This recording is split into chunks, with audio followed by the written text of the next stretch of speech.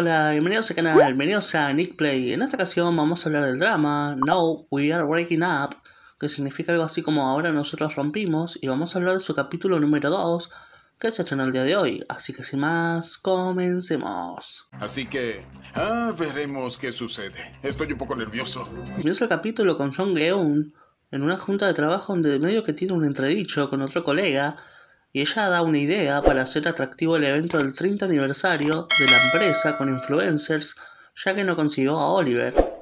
El presidente Wan le dice que confía en ella, pero que deje que su hija se haga más cargo de las cosas y que ella más que nada la apoya a su hija, porque su hija tiene que ser como la que tiene que mandar en todo, porque es la directora al final. Cuando entra Chiseok, su padre le habla para que vaya otra vez a las citas ciegas con el mismo hombre, y vemos que Shen Geun recuerda lo que le dijo a Haegu cuando éste la reconoció, Vemos que incluso este le dijo qué día va a ir a Seúl, en qué hotel va a estar y todo, para que ella si quiere lo vaya a buscar. Y vemos que ella se ríe. ¡Ay, el amor! Encima vemos que se vuelven a encontrar más adelante en Seúl, cuando Jong Geun tiene que ir con Chiseok a arreglar algunas cosas de trabajo con Do-hoon.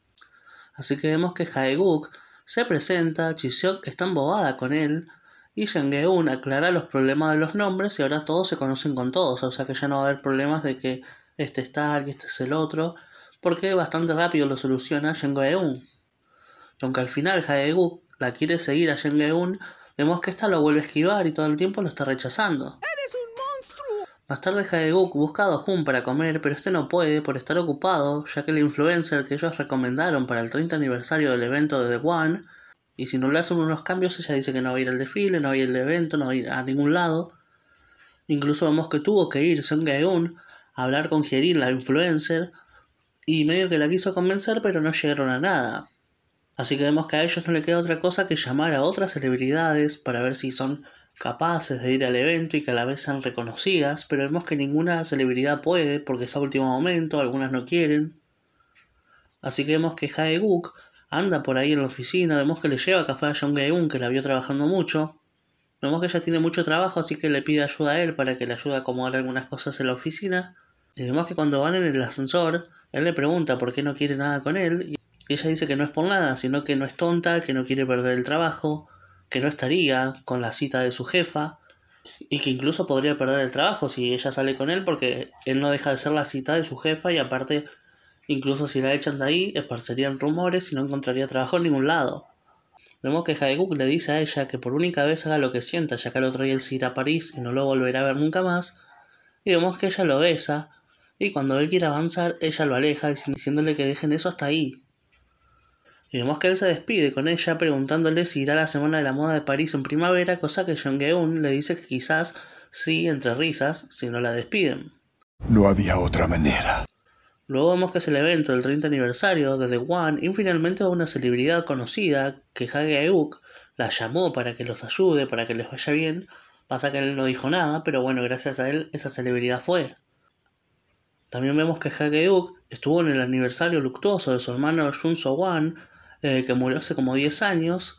Y vemos que su amiga la celebridad cuando lo llama le dice algo acerca de Jong Geun como que la conoce de tal lado, pero no muestran de dónde.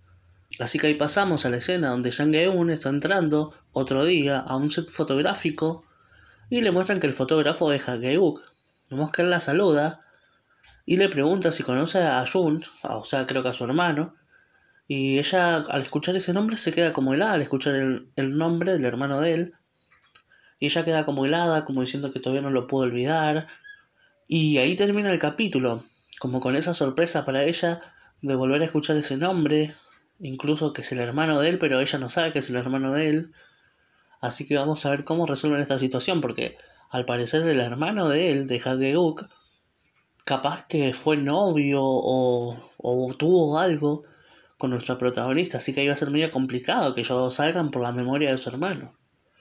Así que bueno, este capítulo me gustó, la verdad que lo sentí un poco más lento que el primero. Por rato me perdí un poco en la trama de la moda y todo eso, que no es lo mío, la verdad tengo que reconocerlo no es algo que me llame la atención, no es algo que me guste mucho el tema de la moda. He visto otros dramas como Belleza Juvenil o Cinderella Man, que eran también así sobre moda, pero no sé si está para verlo siempre, por lo menos de mi lado, así que no sé si el próximo capítulo lo traerá al canal o no. Depende cómo ande de tiempo y algunas cosas que tengo que acomodar de trabajo. Pero la verdad que el capítulo este me gustó. No puedo decir que haya sido uno de mis favoritos. El primero me gustó más. Pero creo que está bien. Así que bueno, ustedes me pueden dejar abajo en los comentarios qué les pareció este capítulo, qué les está pareciendo el drama, si les gustó o no esta primera semana de estreno.